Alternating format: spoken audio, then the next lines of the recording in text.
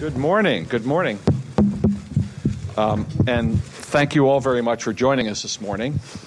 Uh, my name is Steve McMenamin, and I'd like to welcome you to today's event, which is part of the continuing series of the Greenwich Roundtable. Our, our topic this morning, uh, the efficient frontier today, machine or man and machine, is a continuation of the big data session we held in 2006. Uh, coming up with these titles is really important because we don't offer a description to tell you what you're about to hear. Uh, so, um, originally, I wanted to um, call it Desperately Seeking Alpha, Man or Machine, or um, How I Learned to Stop Worrying and Love the Algorithm. Uh, if, uh, if some of you don't know that movie, perhaps it was the Doctor Strangelove Stanley Kubrick movie, just as a footnote. Um, and and uh, so I was overruled, and more serious heads prevailed, and here we are today. So, having said that, our speakers are amazingly smart, thoroughly different from one another, and I'll briefly introduce them. Uh, Jason Karp is the co chief investment officer of Tourbillon Capital Partners, an equity long short group based in New York City. Uh, before founding Tourbillon, uh, Jason was the co chief investment officer of Carlson Capital, where he co managed portfolios alongside founder Clint Carlson. Before that, Jason was portfolio manager at the uh, SAC Capital and a partner and portfolio manager at George Weiss Associates. Uh, Mr. Koff, excuse me, um, he is a trustee and co-chairman of the investment committee of overseeing Loomis Chaffee's endowment. Is that correct? Okay. That's correct. Uh, outstanding. Sitting next to Jason, uh, Tim Garry is the chief investment officer at Pelorus Jack Capital, an equity long short fund based in San Francisco. Uh, that um, name is uh, uh, the strait where Captain Cook first made land. Very interesting. Uh, before that, um, Mr. Garry served as a portfolio manager and risk manager at Passport Capital, uh, also based in San Francisco. Uh, before that, Tim was the quantitative portfolio manager at State Street Global Advisors, where he was responsible for quantitative modeling as well as developing portfolio construction techniques using both equities and equity derivatives. And uh, finally, Dr. Dario Villani is CEO of Duality Group, a software engineering company uh, based in New York. Uh, he's also a visiting lecturer at Princeton University. Uh, before starting Duality, Dario was the global head of portfolio strategy and risk at Tudor Investment Corporation. In 2006, he was named Buy Side Quant of the Year by Risk.net. Uh, he's managed multi billion dollar portfolios in credit interest rates and commodities, and he's authored research papers in finance, theoretical physics, statistics, and portfolio management. And finally, uh, Ray Gustin is the moderator of the Greenwich Roundtable today, and he organized today's session. Uh, he's a trustee of the Roundtable and a long serving member of our programming committee. And without further ado, very good. Thank you, Steve. Much has been made of the underperformance of active management versus passive products in recent years. And this has been particularly true of hedge fund strategies in a market environment that has, notwithstanding recent conditions, basically been on an upward tear for nearly a decade. And yet, as of the end of 2017, hedge fund assets were at an all time high of $3.2 trillion, compounding the issue of crowded trades. Are institutions diluting themselves, or have investable options available evolved to make room for more efficient alpha driven strategies? That is a topic we will explore today as we hear from three managers, each of whom is executing a strategy that seeks to exploit inefficiencies and capture alpha through innovation and zig where others zag. While each of the, th- of the three managers today executes a unique strategy, they all employ technology, including the use of alternative data sets and enhanced analytical tools to identify relationships and optimize or assist in the optimization of risk. We will explore their use of technology in the investment process and discuss and debate the future of active investing. Specifically, are we rapidly approaching a singularity beyond which machines outcompete humans as, occur, as occurred in chess in 1997 when IBM's Deep Blue bested world chess champion Garry Kasparov, or in 2011 when IBM Watson beat the Jeopardy champions, or more recently in 2015 when Google DeepMind's AlphaGo won at Go against world champion Lee Sedol. Now the computers have moved well beyond brute force data crunching and keyword search to true artificial intelligence. What are the implications for profitable investing?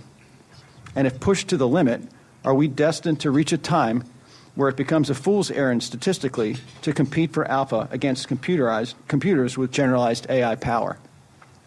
Jason Karp will kick us off today. Jason has built and managed both quantitative and human discretionary approaches over the years.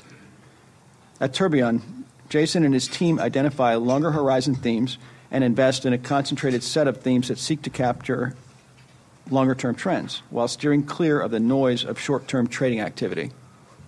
We will then hear from Tim Garry. Tim developed a set of tools to track and evaluate various factor premia, and Pelorus Jack seeks to profit by correctly anticipating trends and trend reversal, reversals among such factors and stocks that share such factor characteristics. Tim and Pelorus Jack recognize investor behavior anomalies and trade on changes in relative moves in these biases. Dario Villani will wrap up our round of manager comments. Dario and his partners at Duality have developed a quantitative fund that employs machine learning AI techniques in an organic, bottom up, rather than deterministic way to identify short term relationships in data that lead to alpha signals. This is an emerging frontier of quant strategies, and Dario is well suited to frame this exciting new area of quant fund re- uh, research. After Dario's remarks, we will move to Q&A, so get your questions ready. We have plenty to discuss. Jason, please kick us off. Thank you. Thanks for having me. Um, I, I, think maybe to kick it off, it might be helpful to give sort of context to how we got here. Um, and uh, I wanted to walk you through the evolution of, of quant and, and also my own career, which, which mimics it. Um, so I started uh, as a, I guess what they call a pure quant in 1998. Um, I went to a firm that was market neutral that specialized in quantitative investing at a time when there were only a few hundred hedge funds. Um, and my first job, or my first task on the job, was to explain to my bosses what happened with long term capital, which was in the fall of 1998. And, uh, you know, I think quant has had several iterations, um, or what I would call arms races, uh, and, and that was the first arms race that led up to the, the long term capital problem. Uh, and there were only a few, you know, decent sized, well recognized quants prior to that uh, Renaissance, D.E. Shaw, Paloma, and the like. And most of these were spread capturing, uh, statistical arbitrage type of quants where you were trying to capture small amounts of spreads, usually market neutral, and you needed a lot of leverage to make it look good. Um, this was also a time, and I think it's worth remembering, when uh, using Microsoft Excel was was an edge, uh, and and having a Bloomberg was actually unusual, um, and and there were plenty of people I remember who, when they wanted to get the 10K or the 10Q of a company, would go to the public library, uh, and so it was a very different time, and it was really the kind of the beginnings of quant, and uh, you know, this was also when uh, stocks traded in fractions, and having fractions made the market less efficient, uh, less continuous, uh, and there was actually less opportunity for small alphas because you had to cross bid offer spread every time you wanted to do something. After uh, 2002, um, so you kind of had this uh, between long-term capital and 2002. You kind of had this vacuum and then, and then after 2002, when people realized that stocks could go down and they could go down a lot, you know, you had a 50% drawdown uh, in the S&P from peak to trough uh, in 2002. There was tremendous demand uh, for market neutral strategies, quantitative strategies, uh, and I'd say allocators and investors got much smarter about the difference between alpha and beta and trying to only pay for alpha and how do we measure alpha and how do we differentiate skill from luck. Um, and the other major thing that happened in 2002 was Regulation FD, um, which stands for Fair Disclosure, uh, where where companies and hedge funds and, and asset managers could no longer get advantages for being a big commission payer. Uh, and that actually really leveled the playing fields for quants. Uh, because prior to that, you know, fundamental managers legally could find out from management teams if they were going to meet or bis- meet or beat the quarter, uh, and it was actually legal for them to tell you. Uh, it was also legal for the sell side to call you up and say, hey, I'm going to upgrade Yahoo tomorrow, and it's going to go up 50% when I upgrade it. Uh, and that's why a lot of hedge funds in that era were putting up 50 to 100% type of returns every year, because that was actually legal. Uh, after 2002, that was no longer legal, and that sort of stopped. And that, that's when arms race number two began, uh, which, which ultimately culminated uh, with Global Alpha, uh, which was Goldman Sachs' largest quantitative uh, business, uh, blowing up spectacularly in August of 07. Uh, Cliff Asness is of Global Alpha fame. He left well before that happened. Um, and that type of quant was a different kind of quant. That's what, what we call fundamental quant, where these quants are actually using fundamental variables from Ks and Qs, uh, things like gross margins, free cash flow yields, uh, balance sheets, uh, uh, valuations, all things that were easily measurable um, that went back 30 or 40 years. And, you know, managers for, for a while, it did really well, but people were starting to use more and more leverage to make it look good. And ultimately, the longer term signals uh, that exist from fundamental quant became very, very crowded. And the reason they became crowded is because everyone was using the same data sets to figure out what's worked for the last 30 years. You know, buying cheap stocks and buying low PE stocks and shorting high PE stocks and uh, all sorts of variables like this became very easily uh, understood by all the quants. And so everyone got into the same stuff. Uh, and then they all started to use a lot of leverage. And then August of 07 happened where these quants that literally printed money with five Sharpe ratios um, had 20, 30, 40% drawdowns in a period when the market actually didn't move. Um, and so that created the next hangover. Um, uh, and then after 2009, arms race number three began.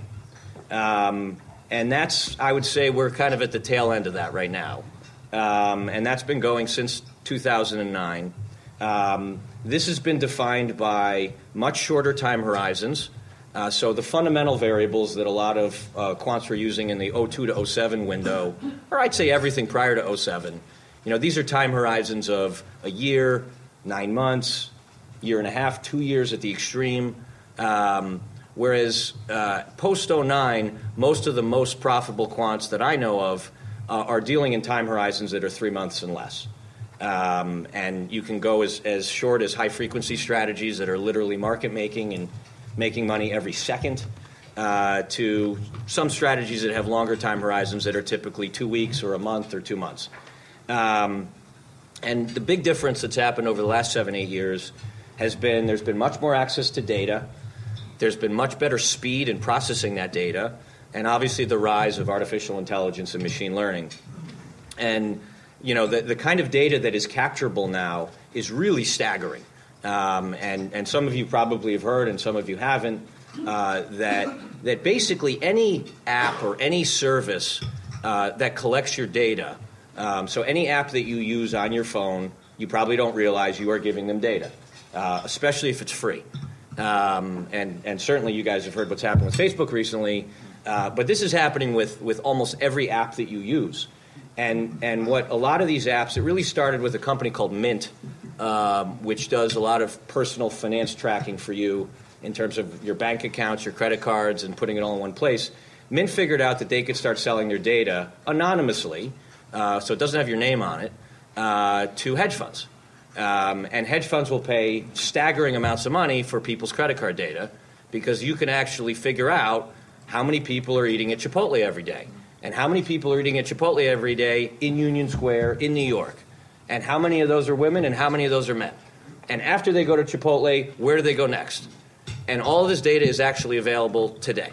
You have to pay for it, and these companies will sell it, but you have to pay for it. Um, there's satellite imagery data, which actually uh, they use drones and they use various satellites to, to hover or track parking lot activity.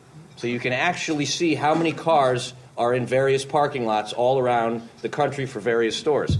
You could see how many Tesla cars are moving out of the distribution center into the warehouses. All of this stuff is trackable now. Um, and it's important to recognize that because you know, as it, and I'll, I'll sort of now reach my conclusion. Um, you, you have to know what, what quants and machines can do and what they're very good at, but you also have to recognize, uh, and, and at this point, you know, I, I w- moved out of being what I would call a pure quant in 2002 to more of a discretionary manager that uses quant to enhance our investment process around 2002. So for about 16 years, uh, they now call this quantamental, which is combining quant and fundamental. But for about 16 years, that's what I've been doing. And it's gotten harder and harder and harder in the short term, meaning call it six months and less, uh, for fundamental managers, because a lot of this data is being ingested by the best and the biggest quants. And the firms like Two Sigma and Renaissance, and then even some of the fundamental firms that have huge quantitative efforts like Millennium and SAC and Citadel, uh, some of them are spending upwards of $200 million a year on data. Uh, and so, ironically, while Reg FD sort of leveled the playing field, what's going on recently, and there's actually a lot of debate whether the SEC is going to crack down on this, uh, a lot of that level playing field stuff has reversed again because the firms who can spend the most amount of money can actually get real edge with this data. Uh, but the good news for fundamental managers like myself is that this is all very short term stuff. And there are, you know, I think there's a lot of reasons to be skeptical about short term uh, fundamental hedge funds. Uh, the, the quantitative aspect is one, but just simple competition. You know, there's now tens of thousands uh, of, of people trying to exploit these things. There's over 10,000 hedge funds, and there's certainly tens of thousands of individual quants who are working out of their apartments. Uh, there's a business called Quantopian that, that basically fosters this, um, where you if you if you develop a strategy out of your own apartment that seems to make money, they'll sponsor you. Um, so from a competition perspective, you have to recognize what, what we're playing in. Uh, but the positive is, and I'll conclude on a happy note for those of you who are who are fundamental, um, because I think these two can coexist, and I think there's a lot of money to be made in the very short time horizons with the best quants, which hopefully you'll hear from the, the gentleman to my left, who are, particularly Dario, uh, are, are probably more in that zone. But on the fundamental side, in the longer term, there's a lot of things that quants still can't do. And I use the word still very carefully because one of the questions that Ray brought up in our discussion was, you know, is there a, is there a moment in 20 years or so when this turns into the Matrix? you know, or the Terminator when all of a sudden the machines take over. But for now, I'll say that quants cannot do things that don't have a precedent very well. So if something's never happened before, like the rise of Netflix, um, they're not particularly good at figuring that out. You know, there's never been a company that's risen as quickly as Netflix in terms of, of uh, and, and certainly in the business model that they've done, where they've decided to spend $8 billion on content hoping that lots of people would subscribe to their service. Um, so they're not particularly good with that. They're not particularly good with long time horizon activity. And so the example I give on this, which, which was actually something we did, um, was most people don't remember this, but in 2014 was a terrible year for Amazon. Uh, and if you had on long Amazon, short Walmart, in that year you lost almost 50%. If you held it, for the for the next three years, you've made several hundred percent by keeping that on. Uh, but there's periods and decent, you know, a good year, sometimes year and a half. There's decent periods where trends look one way, but if you can have imagination about how the world is evolving, and, and certainly everyone in this room would recognize that Amazon would dominate Walmart even four years ago, you know, time horizon definitely solves all ills. Um, and then uh, act, uh, um, quants don't do anything as it relates to privates. Uh, so there's still a lot of opportunity in, in private things where you actually can't trade. Uh, and activism. You know, so activism where you're actually changing the course of a company uh, and you're influencing the outcome of that company. Um, they can't do that either. And so I think it's worth remembering that stocks are companies at the end of the day, and capitalism still works, and you'll always have winners and losers. Um, but you have to recognize what game you're playing in and where you want to play and where you don't want to play. So I'll stop there. Very good. Jason, I've just got one follow up question, and Sure. that is what are the implications that you see for managing risk for your portfolio? In other words, are you seeing uh, more volatility if you are investing over the long term? Do you have to, uh, you know, uh, how do you uh, manage those positions tighter now than you might have in the past? Yeah, so so a lot has changed in the last five years, um, and and you know my career and, and I've had to evolve probably three or four times over the 20 years that I've been managing money.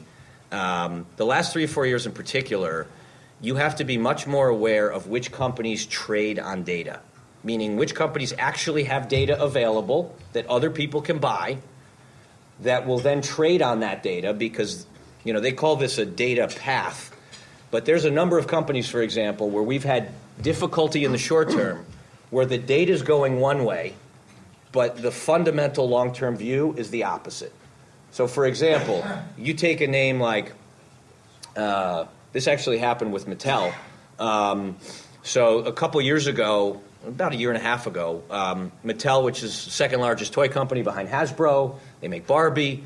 Um, Mattel was going through some really difficult things uh, on the fundamental side. They lost their license, um, their Barbie license. Sorry, they lost the Disney Princess license to Hasbro. And if any of you have daughters, you know how important the Disney princesses are which includes the entire library of every Disney princess, from like Cinderella all the way up to Elsa in Frozen. And I have a daughter, and so I know this. And uh, after they lost the license, which was a huge deal, it's a material part of their franchise, they started excessively promoting uh, Barbies because that's what they had. And logically, why would they spend any time on promoting an aspect of their franchise that they were losing? So the data um, that you could capture, which was in point of sale data and credit card data, was showing that Barbie sales were accelerating. And because Barbie is the most material aspect of their business, a lot of machines were buying Mattel. And this went on for a good four months. And so we were shorting it and shorting it and getting hurt every week as it was going up. Then, when Mattel ultimately reported, um, they had good Barbie sales, but terrible margins because they were excessively promoting it. And the margins and the markdowns were not captured in the data, but the sales were captured in the data. Mattel had its biggest down move in 20 years on what was not so bad of, a, of an earnings print, simply because it got so packed and crowded with machines. And so, and then they all had to reverse course.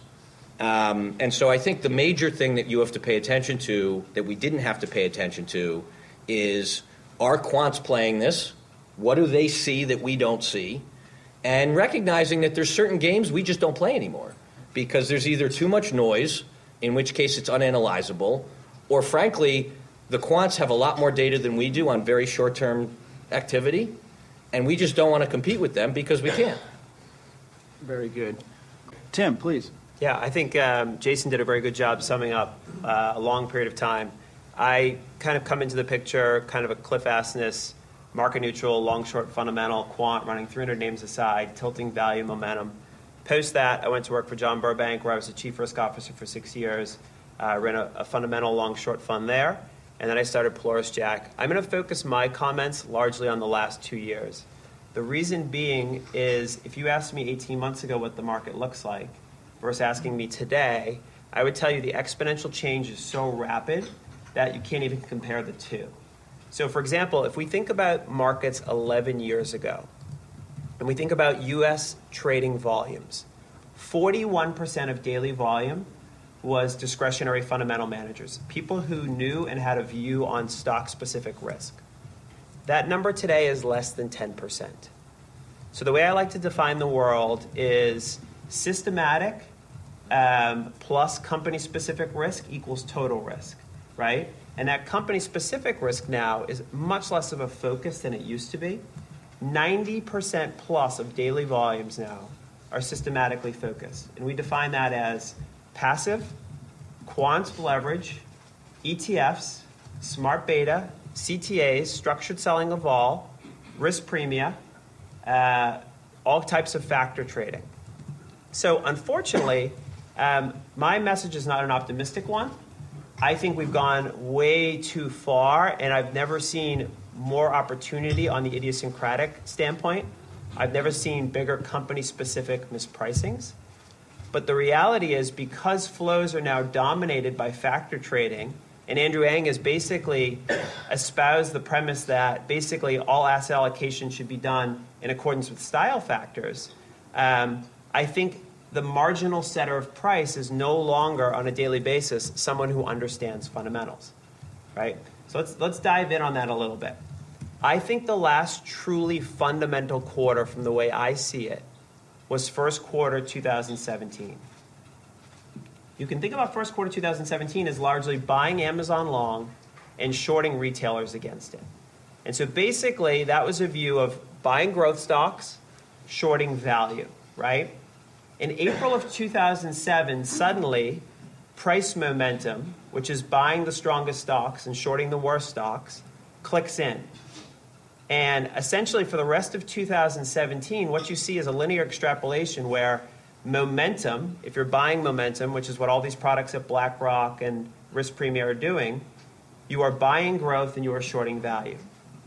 And so if you look at 12 month momentum, taking the last 12 month price trend of a stock, what you will find is it's 0.9 correlated to growth and minus 0.9 correlated to value.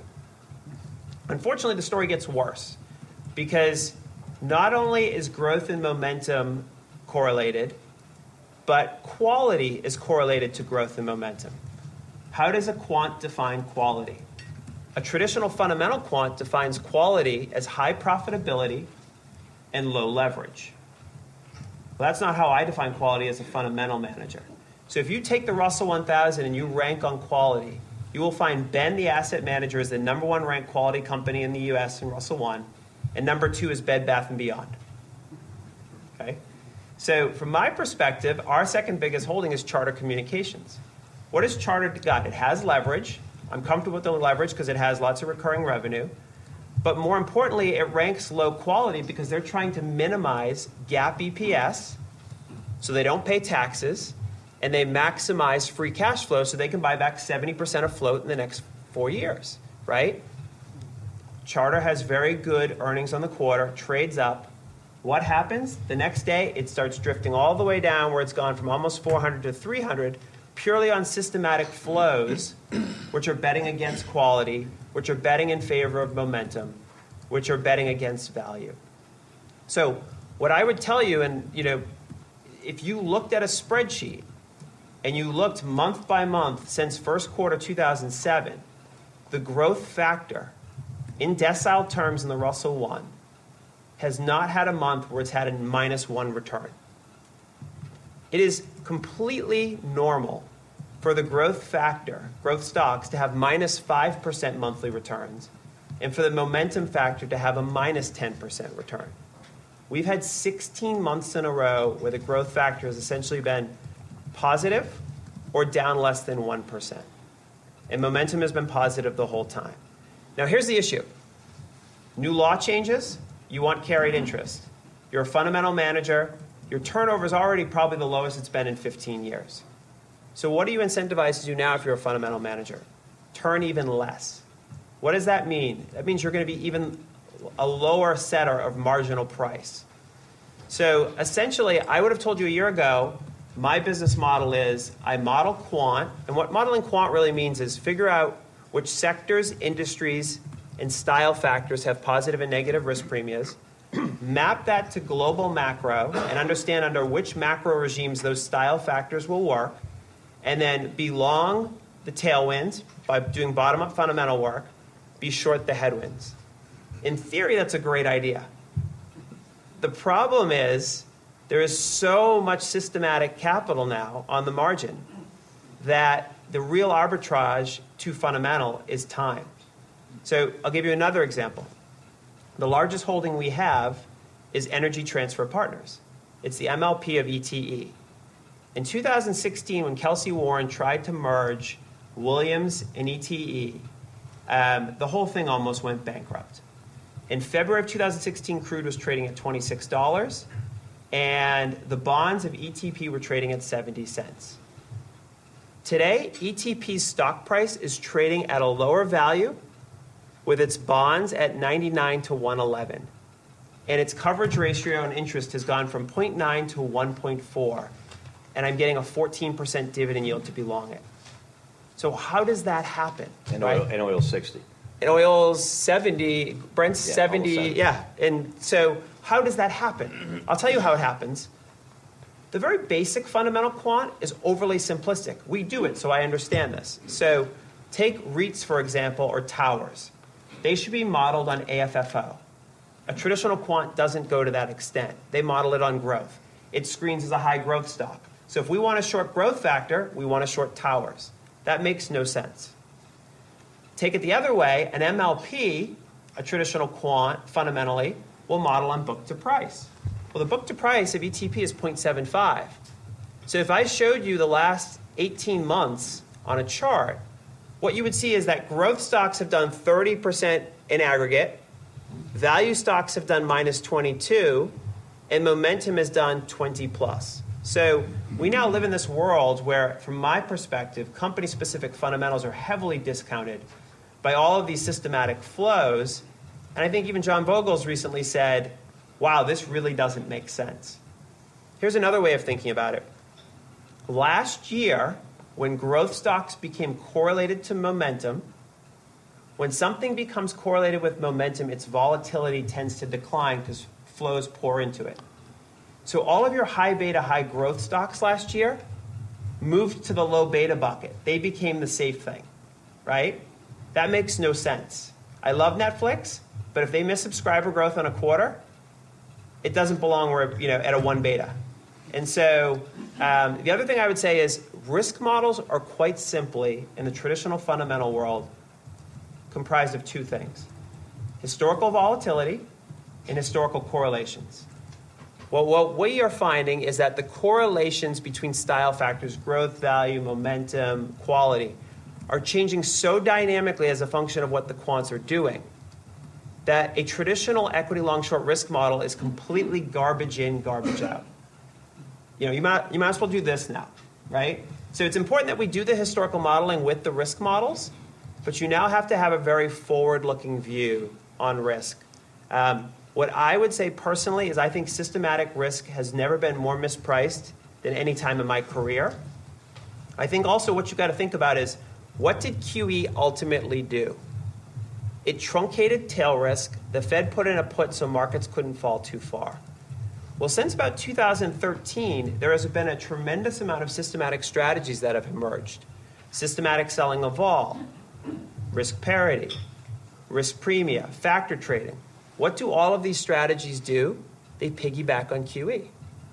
They contract risk premia. They basically are a doubling down of QE, right? So I think we've just started to see the blowing up, kind of like 2007, of those systematic strategies, with the systematic sellers of vol blowing up. Last year, the 50 day realized vol of the NASDAQ 100 bottomed at 5.8%. That's absurd. Now, 50 day vol in the Qs post um, February. post February Yes. is 30. 30. So now the NASDAQ is realizing a 50 day vol of 30. Something has dramatically changed. Financial conditions are starting to tighten. And I think what we're going to find is many of these systematic strategies are just another source of beta. The, other thing I, the last thing I would end with is if you are long growth and you are long momentum and you are short value, that's beta because it's, it's been ingrained in the market for 15 months. You shouldn't be paying for that. Just buy the Qs. That's what that is. The Qs have a higher Sharpe. And so, as an absolute return manager, what I see my job is to do is typically I don't want to be contrarian. I want to be coincidental. I want to invest alongside the trends. But it's become so extreme and so ingrained um, that this is the one time that I am actually extraordinarily contrarian and I'm predicting or making a call that we are going to see a momentum crash. Very interesting, Tim. I guess the follow up question I'd have is what conditions would you be looking for to see this uh, kind of uh, discontinuity Yeah. in these uh, correlations? Yeah, so uh, Jason I probably share, you know, he, he having worked at SAC, you're probably pretty familiar with the DeMark indicators. Yes. So we run DeMark indicators, which are, which are market timing indicators on factors. And they're fractal in nature, which means you can run these indicators on a daily time series, a weekly time series, a monthly time series. The longer time series you go, the more it's expressing a longer term trend. In the last three weeks, I have finally gotten my sell signals on DeMark for price momentum, which are basically, if I backtest those to the prior few times I've gotten them, um, have led to at least a 10% dislocation in momentum at minimum, sometimes 25. On top of that, we run a lot of factor crowding signals. One of the ones we do is we take the momentum factor scores and we correlate it to short interest. And what we find is that the correlation between price momentum as a factor and the short interest factor presently in the, in the US is minus 0.25 which tells you two things. A, nobody wants to be short momentum. But B, what we find statistically is when that number drops below 0.2, the statistical significance of a momentum crash elevates significantly. The last time we saw that, that kind of value uh, was first quarter 16. I don't think I can ascribe to you what a minus 10% momentum month in combination with a minus 5% growth month will look like to your average portfolio. Morgan Stanley is our fund administrator. We get 70 managers in a pilot program where I get their aggregate factor exposures. To a T, everybody is long momentum, long growth, short value, short dividend yield, because if you're not, you're not making money. And this industry has become so short term focused on making money that you have either two choices risk going out of business but having a windfall profit at some point, or play the game and chase momentum. Very good. Dario. Um, thank you for having me. Um, I don't know. I wanted to talk about something else, but you know, after listening, after listening to them, like it really feels to me like the way quants are depicted. They are depicted like Newton or Galileo, and actually quantum mechanics is here. So let me give you a little bit of where we are in terms of artificial intelligence and modeling and measuring correlation, portfolio construction, and all of that. Like up until last year, I was at Tudor. And people would come to me sometime and say, you know, most equity market neutral have a Sharpe of two. You guys have a Sharpe of one. Why should I leave the money in it? Or why would I ever invest? Because, you know, when, especially when you listen to very articulate discretionary traders. They describe humans as having this amazing judgment, and uh, the machines are these obtuse, backward-looking, you know, objects. And my answer was always like, yes, the Sharpe, we have less Sharpe, but humans at the turns are better and much more prospective in nature. Not because, this is a subtle point, not because a Paul Tudor Jones can actually forecast the data break or the, the paradigm shift. Is that contingent on the data break happening, Paul can on the fly decide to shorten the time scale at which he considers things relevant and decide to forget everything else. So this is a brand new world and he's going to fight it. So traditional quant, that was the weakness, was extremely vulnerable to data break and paradigm shift. Why? Because, you know, as they were saying, you measure correlation. Ultimately, they had to decide what was the time scale at which to remember or forget things, what was the time scale at which to measure beta, what was the time scale at which to measure correlation. And, you know, they would do fancy things, could be exponential moving average, six months, one year, but fundamentally that they had to choose one. And they couldn't be adaptive about it. Now, if you think of the other weakness that the systematic trading had, that is very much like Galileo and Newton kind of quant work, was you always started with a model of the world. You had to postulate a model of the world. You say the world is mean reverting, the world is trending. The world is a mix of the two.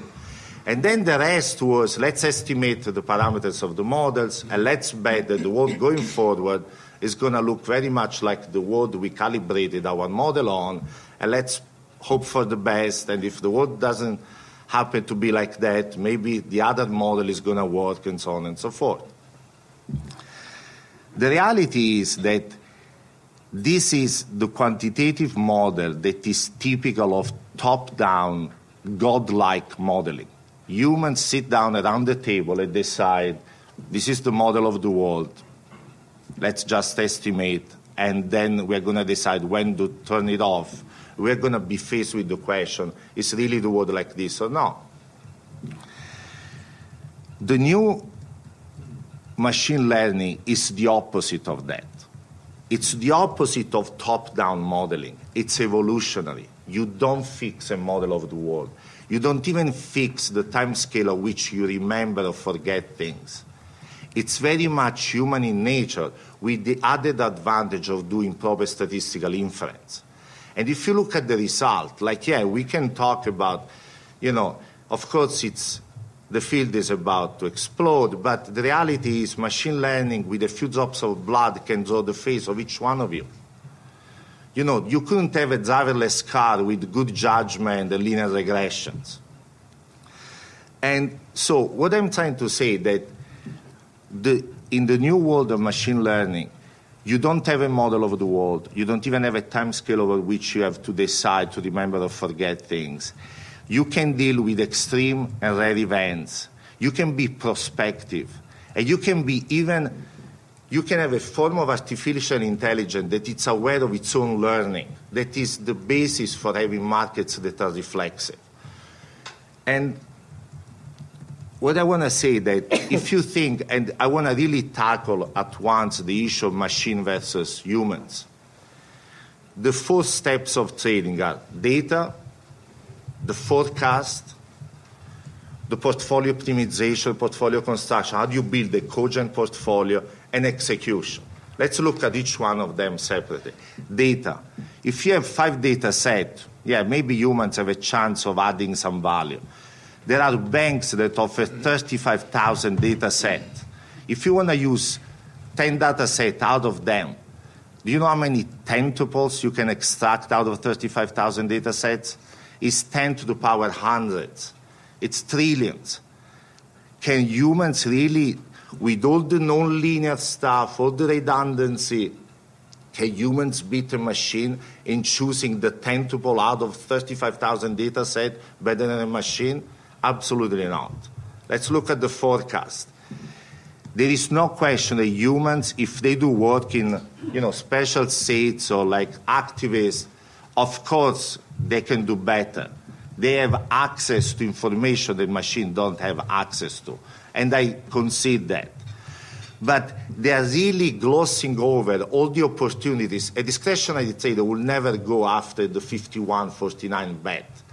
It wouldn't even, the, the coarseness of the instrument wouldn't be able even to see that there is a 51-49 bet. Portfolio construction. If you do enough work in uh, trading, one thing you learn and realize everybody talks about there is low signal to noise. That means that no matter how much data you do, how much you study the covenants, there is a cap of your ability to improve your forecast. Yeah, you can go from 55, 45 to 56. You're never going to get to 80, 20. So ultimately, what makes medallion medallion, it's not the forecast becomes 80, 20 how do you assemble in a cogent way a bunch of signal in a portfolio that doesn't have tails? And the way to do that, humans can't. How do you take into account all the other bars around the model, all the other bars around the matrices, the correlation? How do you take into account tails, contingent densities? Like, that's the art. This dream of the West Coast that you can have a success rate of 98%. It just doesn't happen. So if we concede that the best we can do is in the 50s, the rest is portfolio construction, and humans are definitely terrible at it. Last one, it's execution. Again, whoever has been sitting with a discretionary bunch of guys know that if there is one person is one player that is easy to pick off is the person who picks up the phone. Say, I really need to buy 200 million. Oh, let me help you out here. And everybody knows. So execution, there is incredible research. You know, H.L. Menn has done amazing work with multi-armed bandit problem. So what I'm trying to say that, in my opinion, and I give you an anecdote, humans, apart from very specific situation, like, you know, you know, like activism, you know, covenant, distress situation, work, uh, workout reorgs, and so I think they have no chance. And the people they think that is the opposite, I really remember, like, I, from a poor village in Italy, my dad had a friend that was a little bit wealthier. And the son bought the car in uh, 1982 with the ABS system, the anti blockage system. And for a couple of years, my dad and his friend were arguing at the bar that their way of braking was safer than the ABS. The way they would touch that pedal, it just was much more control, judgment, and there was a mix of experience that you can't buy. The reality is, just if you look forward, if you try to do that in Formula One, you will never win the Grand Prix, and you are just doomed to fail. And uh, I'll leave it at that. Okay, Dario, a, a, ba- a basic question that I think Yeah. many of us have, that I have with a uh, kind of a, a, a, we'll call it an organic or machine learning strategy, is how do you know when it's not working?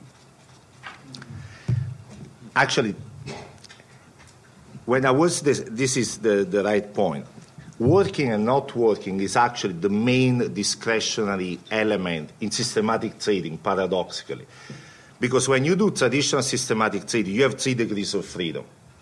You choose the model of the world or the mixed model of the world. You choose the time window over which you do the statistics. And you choose the level where you finally decide to stop the machine. You say, if I lost enough money, or my investor calls me and says, I'm sick of you losing money, or you do it in a fancy way. They say, if the p value is below 5%, I turn it off. But it's discreet. Why 5%? Why not 1%? Why not 10%? The problem is you are faced at some point with the question, what if my model of the world is altogether just wrong? I thought it was mean reverting. We are in a world in which things trend. In machine learning, you don't choose the model. You have an inf- infinite, all of the model of the world. And what happens is only the weights change. And dynamically, you change the weights, so model get delivered, delivered automatically. In that machine can't be obstinate about a picture of the world because it doesn't have one. So I, I give this example that is very important. And this is the way humans are. When we, the first time we met, Ray was extremely abrasive. I started to talk, and he was like, What do you know about Sharper 2? You look weird, you have an accent, whatever. so he had this prior that was 99 full of it, and maybe there was a 1% chance I was a good guy. So as I kept talking, he started changing the weights, and at some point went flipped the other way, and then he called me and said, "You want to come to the round table?"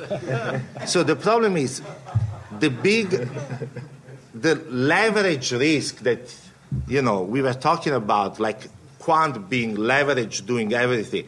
It comes that from the basic fact that at heart, systematic trading, traditional systematic trading, removes the biggest source of uncertainty, that is model uncertainty.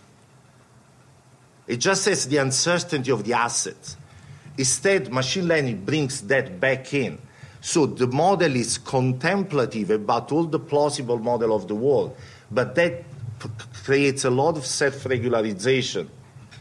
So you are never obstinate about it. That's the, the key element that, in my opinion, makes this form of modeling extremely different from everything else that you have ever seen. Yeah. Can I ask a two-part question? Yeah. Um, so one of the things we've noticed in the last year, as money's flooded into the systematic space broadly, is that time series are no longer stationary. How do you does, does that affect you? Does it matter? Yeah, that's so. That's what makes systematic trading and what give an edge to humans because ultimately, time series are non-stationary, especially for market, And so what is no stationarity? You need constantly to change the time scale of which you look at things. Say you look at six months, three months, you need to find a way endogenously to decide what's the time scale to look at. And that's the biggest thing where machine learning can actually solve it. And instead, it's extremely dangerous for traditional systematic training. Yeah, because we're seeing you know macro variables to style factors go from R squared to 0.37 for a three month period to Yeah. zero three months later. Yeah, not imagine like imagine you trade stocks in 2007. You everybody was obsessed with where the IG index is. Like the stocks would track tick for tick the IG, like it was the credit index. Nowadays, there are a bunch of traders that go home don't even know if IG open wide, close wide, or tight. Nobody cares because what drives things changes over time. That's the biggest problem. People talk about factor. At the end of the day, it's like it's a low rank representation of the world that explains certain amount of volatility. But what is the proper subspace? It's itself a function of the world. There is thresholding going on. Sometime above a certain level, that subspace is good. Below a certain level, another subspace is good. You can't have a static representation of the world in a world that constantly changes. And that's why you really need, you know, a prospective in nature, self-aware, doubting and self-doubting with all the demons like humans form of artificial intelligence that has all the demons of humans and self-doubt, but does proper statistical inference that humans can do. People always, like one thing of evolution, as humans, we evolved to survive. And I told this to Paul once. A large percentage of our brain is visual cortex. Why? Because we can recognize snake in the grass or evil people in banks. and that's a large percentage of our brain. Like our brain didn't evolve for millions of years to do the Bayesian statistics of a multivariate distribution of returns, right? And that's why that snake looks very much like the head and shoulder of technical pattern. That's why humans are drawn to that. It's the same reason they recognize snakes. But, you know, snakes are good to avoid, to survive, but if you follow patterns, it's a disaster. Second part to the question: on the margin, do you think you're making security pricing more or less efficient, or it's not even relevant?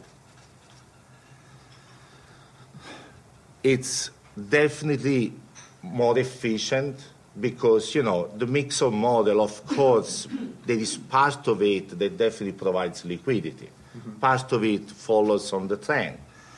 But the reality is this new form of, you know, quantitative methods is making the system less fragile. Because the reality is that the quantitative traders, as much as people believe there is diversification, there is also school of thought. Uh, the people this show, some of them went to Tudor, some from Tudor went to Graham, some from Graham went to BCG. They all build the signal more or less the same way. They all use the same exponential moving average. And when the quant quake comes, they all get taken to the cleaners.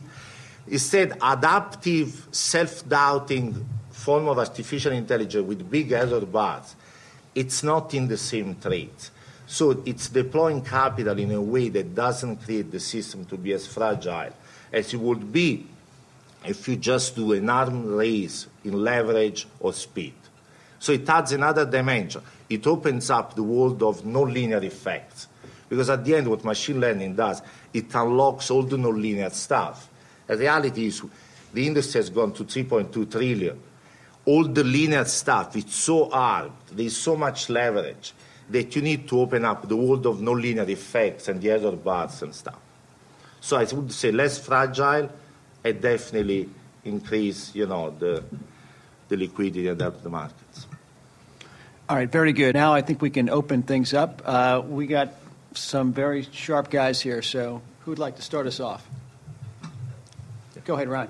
Jason, you mentioned $200 million per year research um, for uh, budgets for the uh, data.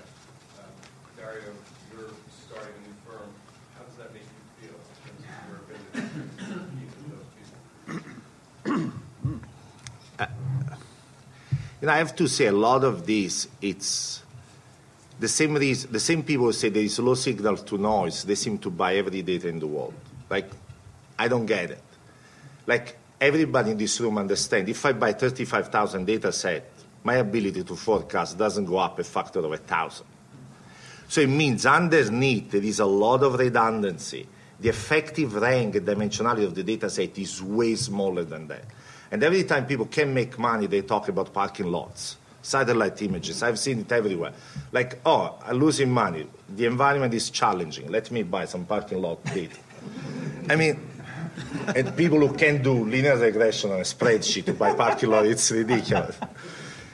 I think a lot of this arms race, it's, it's, it depends. If you choose the proper time scale, people cause, the reality is people are having hard time understanding which data set are relevant. And uh, in linear world, it's very easy. If I send you two time series and I send you a third one that is the sum of the two, you would recognize it immediately. But when there is no linear stuff, if I send you my height and weight and I send you my BMI with a little bit of noise, you wouldn't recognize it. If I send you x and x squared, you would think the correlation is zero. It is zero. But if you know x, you know x squared. So the only way you you can do forecast as a human, you can do forecast as a machine or traditional trading. When you have to make an assessment which data set you need to buy, you need to use machine learning because unless you can see through the nonlinear effects, you're just going to buy stuff, and we haven't. And short of that too, a lot of these data sets get arbed in like weeks times. Like I would build signals seven years ago that like within three quarters they were they were done.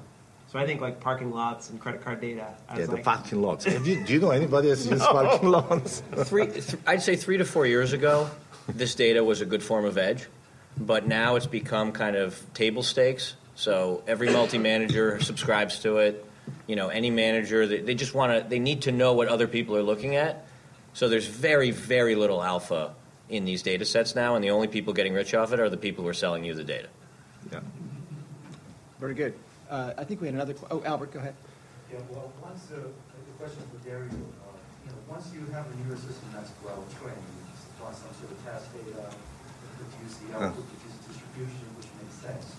You know, you conclude that this system probably worked, but, you know, my question is, in general, we don't know what inside the system, what each neuron layer is doing. So do you see that pose some sort of potential risk? Because someday you might have a data set which cause the whole system to behave erratically.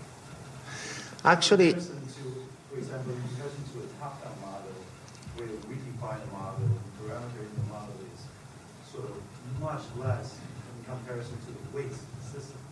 And we can easily quantize the, the problem in the top-down model.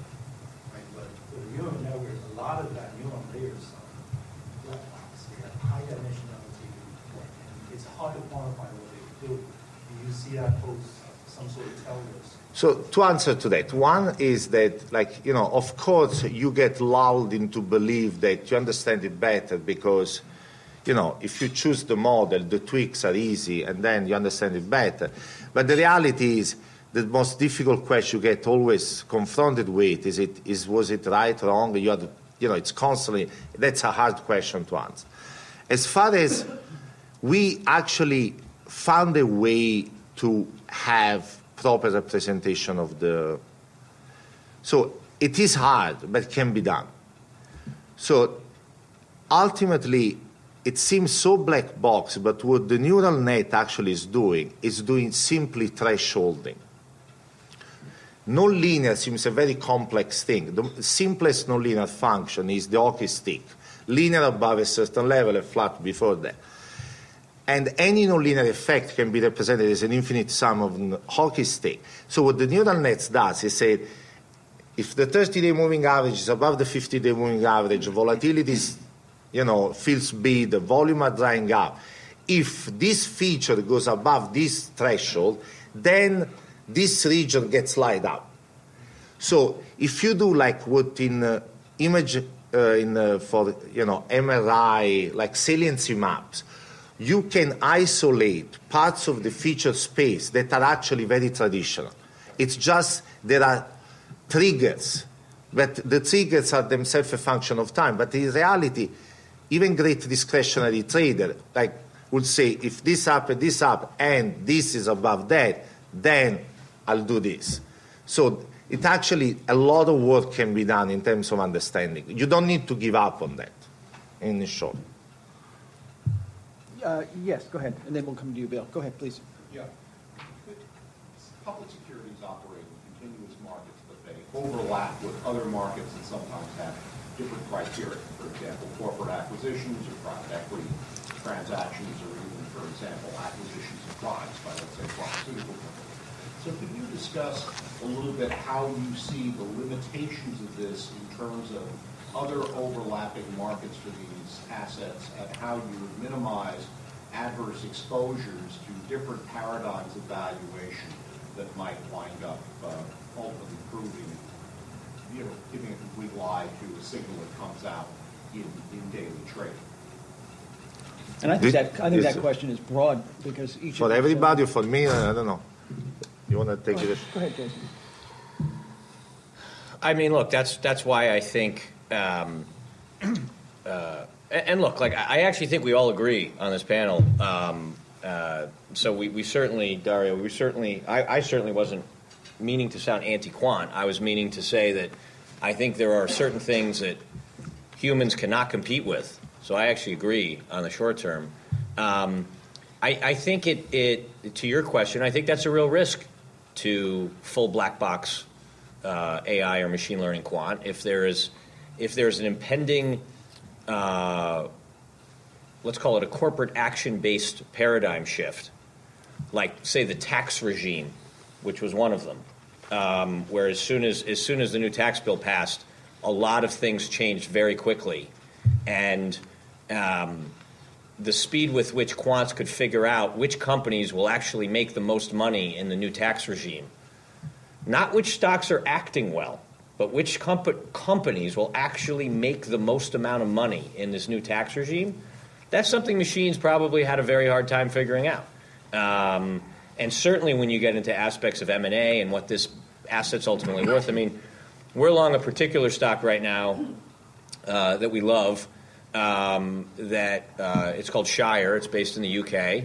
Uh, Shire uh, got to the cheapest it's ever been in its corporate history as of about a month ago, um, and and specifically to what Tim said, it's screened as absolutely rock bottom on quantitative factors. Big negative momentum, lots of value, not much growth, and we believed that there was uh, at a price that this company would be broken up or get taken private. And in the last, you know, we suffered for a year holding this thing, and in the last two weeks, a Japanese pharmaceutical company called Takeda came in with a bid. And we've made back everything we lost in two weeks. But we had to stomach it for a year. And it's been, uh, I think it's a very good question. Um, and it requires a fundamental manager, uh, and frankly, quantitative managers, to try to understand what are things where, because the, the, the beauty about being long certain stocks is the, the factors or whatever whatever the machines are recognizing this is what's working and this is what isn't working because at the end of the day these are optimizing to be in what's working. Um, the beauty about recognizing that these are companies is at some point the market forces come into play and you know either the company realizes it's too cheap and they take it private or private equity realizes it's too cheap and they take it private or the company breaks itself up because it doesn't make sense um, you just have to be alive for when that happens I, I'm going to say something that's going to be incredibly unpopular in this room. I'm just going to couch it with that. So we measure illiquidity using a statistic called Amihud's illiquidity measure. And essentially, we run it across the Russell 1. We take the bid-ask spread for every security um, for trading a million dollars in each security, and then we aggregate it. And what you can basically see is that if you bought illiquidity in 2008 or early 2009, there was a tremendous risk premium associated with it. Now, given what 10 years of QE has done, and basically global central banks owning 40% of GDP, GDP, there is no risk premium left associated with illiquidity. So as I see people run into privates in illiquid funds in real estate, I just think it's the absolute wrong time to be doing that because even in the stock market, which is somewhat liquid, there is no risk premium associated with owning illiquidity. So, if you're going to buy something illiquid, you better get the security selection right because you're not getting comped for the illiquidity. Um, and also, I would say, look, we're eight or nine years into an economic cycle. Maybe we go another two years, maybe we don't. But the last thing I want to own in a deep, sharp downturn is illiquidity. I think we've seen how that plays before. And then I also think you have to think with the amount of money that's in passive, if that's your funding source because you can't sell your real estate and your illiquid assets, well, pairwise correlation between stocks can rise quite sharply, and passive can act as basically an instrument of one. Interesting. Very good. Bill? Uh, Just, you know, Jason, you were here two, or three years ago, and you said something I thought was really interesting about the number of people who work at hedge funds, analysts. It was something, I'm going to paraphrase it, you said, you know, there's like five or six thousand people who work at hedge funds, and there's five or six thousand people who work on Wall Street as sell-side analysts and traditional mutual funds. And you sort of noted that, you know, 20 years ago when you started, I don't know what the ratio was, but it wasn't anywhere near that.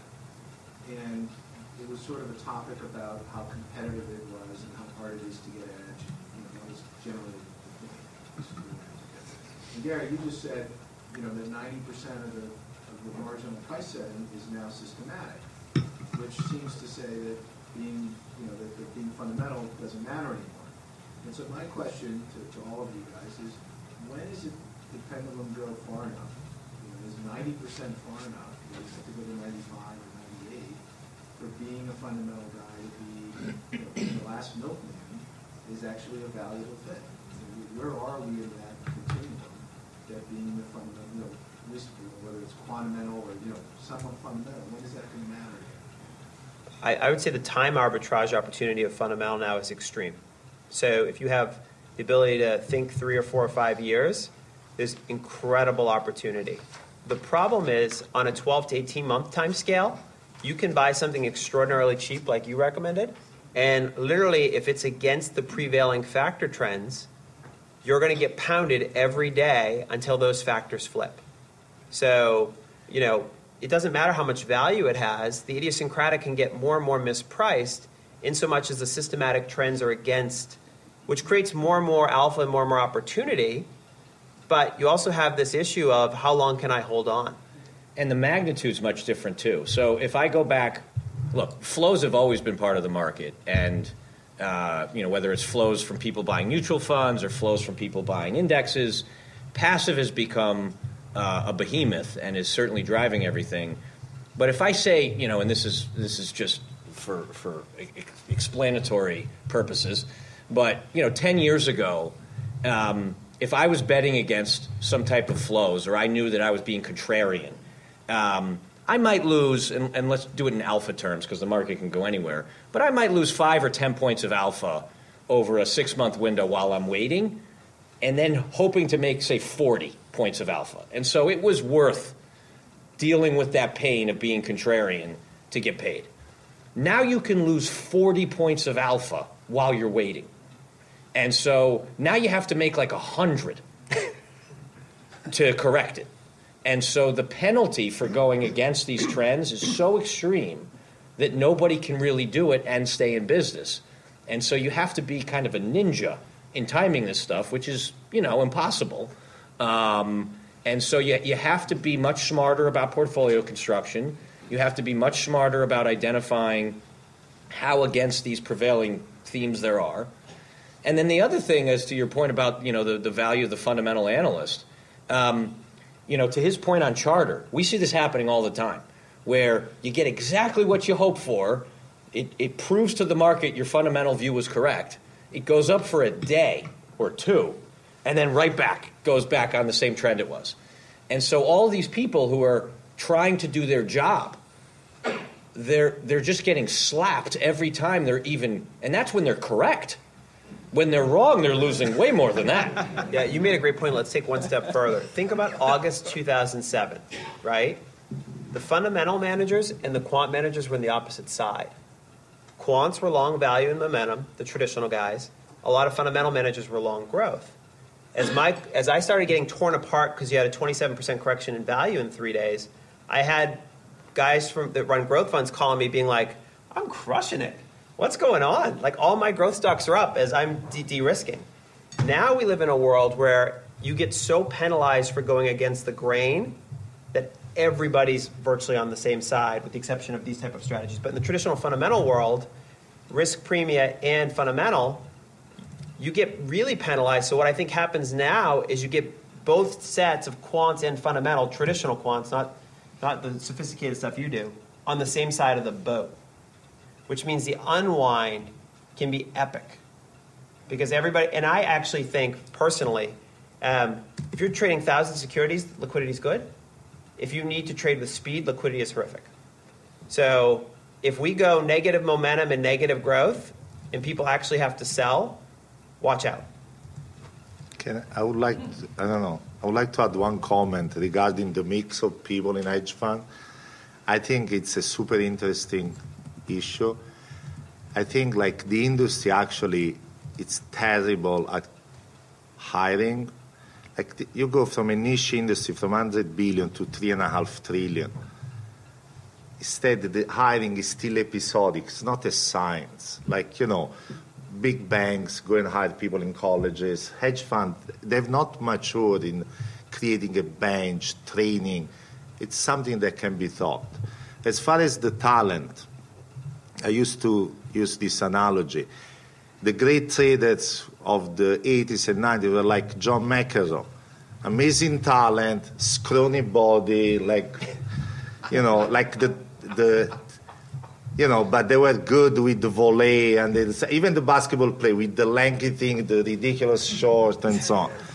If McEnroe today tried to play with Djokovic, it would be destroyed.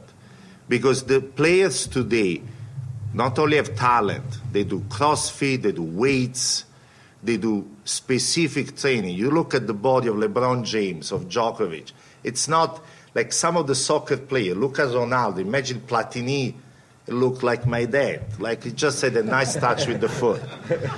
So what I'm saying that, yeah, you can have the talent of the McEnroe, but if you don't do portfolio construction, if you're not thoughtful about all the other pieces, just having a good idea of what central bank do is just not going to cut it. You're going to be the McEnroe struggling there and being crushed.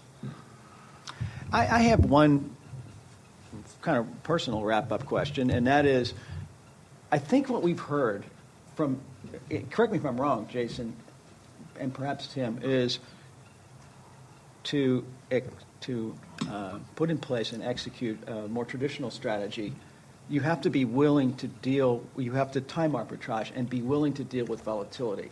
I think what Dario pushed would say, and we've talked about this, is I'm maximizing Sharpe, or that's one of the key um, uh, constraints. A strategy like you're espousing probably has a low Sharpe. So as we think about investing, do we have to make that decision? In other words, do we have to mentally say, look, we're going to hold traditional fundamental strategies for the upside, and we will deal with a lower Sharpe? Or, and, or do we want uh, high Sharpe strategies? Or do I have it wrong? Because this is important. Risk adjusted returns, it's not just returns, it's risk adjusted returns. I, I, think it depends on your time horizon. Um, and you know, I would say for fundamental views, you absolutely have to be willing to have lower Sharpes.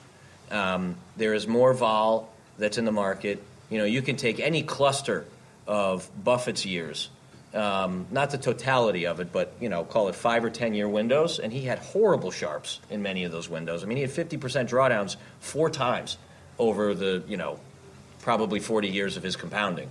Um, I, you know, we at the end of the day, and, and, and I used to be a, a full quant, but you know, we have kind of a joke in our in our firm, which is the best form of risk management is being right. Um, and and what I mean by that is is if you own a company that you buy at a good or reasonable valuation and they grow their cash flows 200% over a 5 to 10 year window, you are making money. I don't care what happens I don't care what happens to multiples. I don't care what happens to the market. I don't care what happens to macro. I don't care what Trump says. You are making money if you own an asset that grows its cash flow by 2 to 300% and you buy it well. Period. Now, there might be a lot of vol along the way, um, or the same thing on the short side. If you're short something that looks like Bed Bath and Beyond, um, or looks like a mall that's cash flows go down by 90% over a 15 year window, you're definitely making money over that period. And so at the end of the day, for me, it comes down to what happens with the fundamentals of those companies. And, and did you buy them or short them well? Uh, and, and that's it. I, I'm not going to answer your question, but I'm going to say something that's very related. If we go back 20 years and we measure rolling standard deviation, so rolling volatility of the market, and then we take things like momentum or growth and value, and we compare the volatilities of those factors to the market's volatility, what we would historically always find is market volatility is here, and those factors represent a portion of market volatility. The pendulum has swung so far in favor of systematic that since late 2014, persistently, factor volatilities are now here and market volatility is down here. Said another way, I don't even think you can properly identify anymore what your beta to the market is. Said another way, um, if you're $100 long value last year and $30 short growth, I perceive you as a net short fund, but while being 70% net long. This is a whole new paradigm. Uh, actually, you know, systematic, good systematic trading doesn't look as sharp. you know, like actually Sharpe doesn't even control probability of drawdown on a short time scale. What's your probability of having a 5% down next week? Has nothing to do with Sharpe. It's all controlled by the tail of the distribution, the amount of risk you are running. Over a long time period, the probability of drawdown are controlled by sharp because you have the cumulative and you know it becomes Gaussian and all of that. That's another area where actually humans are actually good. Humans have a good sense of risk reward, and traditional systematic didn't because maximizing Sharpe and mean variance, they would identify risk with volatility. If you want to do good risk adjusted return, you should keep the probability of drawdown within order over time, uniform. And to do that, you need to control other things downside volatility, Sortino, and Sharpe just doesn't cut it. And actually, if you do that, you get a form of artificial intelligence that is similar to humans, as a natural threshold below which the holdings go to zero, because the machine is saying, with this left tail and weak signal, I don't think it's a good idea to get involved. Instead, the more traditional one would say, as long as positive expected value, knock yourself out with leverage, and you're going to be okay. So I would say it needs to be more human with proper statistical inference, and that's having terms that are not just Sharpe. Is, is it safe to say that because machine learning requires such large data sets that a lot is presently being done on price? Yes. So the degree of technical trading in the market has gone up exponentially. Yes. I would say that, especially at the time scale, generally people care. It's, you can have contextual variable like steepness of the rates curve, some more fundamental thing, but the main driver at the low-hanging fruit to unlock the nonlinear stuff is mostly technical. Yeah. That is a very. Oh, sorry, we have another question. Yes, please. Do you have a machine learning? Go ahead. what is Yeah, this? sorry, just one, one last question. When you think about artificial intelligence, uh, you always get this impression that it's designed not only to remove um, human emotions, but to some extent uh, the need for human intelligence. Uh, you just need to show you know, a lot of computational muscle, data, and technology, and that's it. But obviously, uh, it probably takes a lot of human intelligence to design a competitive artificial intelligence system. So maybe Dario can give uh, a little bit of an explanation of where that plays a role. Uh,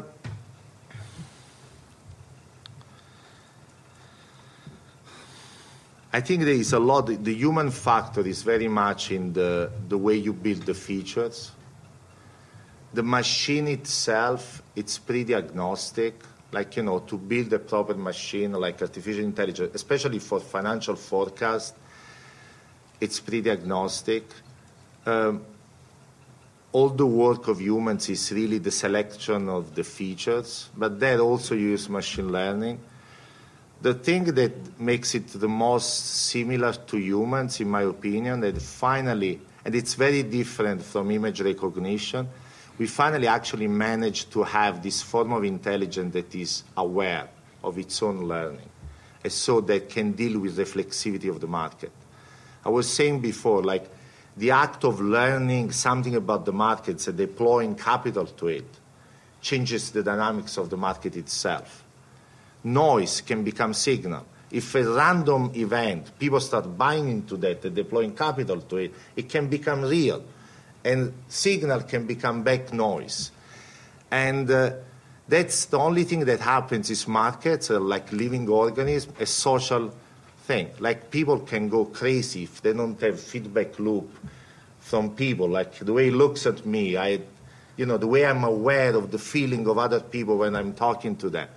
So I would say that it's very much human in its awareness and its doubt, self-doubt of its understanding. And what is left for humans is really to design the feature and be very thoughtful about, you know, how to feed that into the machine. Very good. Listen, I want to thank all three of these speakers. They did a great job. Thank you, guys. Thank you guys.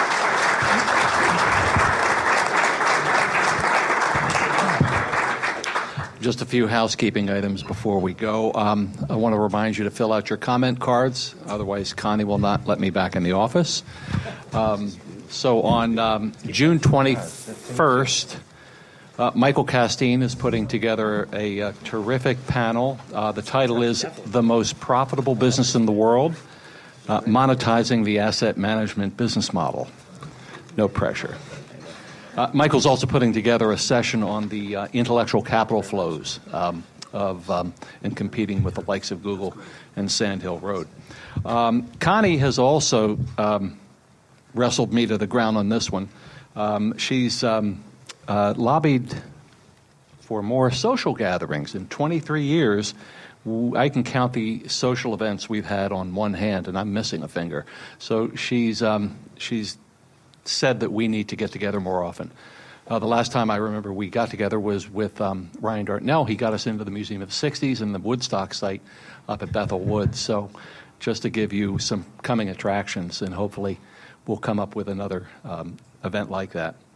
Uh, in July, uh, Lucy Stitzer, who some of you may know, um, is putting together a session called um, Agricultural Technology 2.0, uh, the new infra- infrastructure play. Uh, and then finally, we've got some wild cards with Peter Lawrence and his uh, blockchain uh, session, and um, Brian Furtado, who originally did the big data session two years ago, which was tremendous, turned us onto this whole movement. And um, finally, I'd like to thank Phil Zecker for taking over the programming committee, giving Ray a break. Uh, for four years, and Phil's um, already started on a good road. And if you have any ideas um, or suggestions, uh, please um, either get them to Connie or Phil, and um, we look forward to it. But again, I want to thank the panelists. Ray, you put together a terrific session. Jason, Tim, Dario, good job. Thank you. Thank you.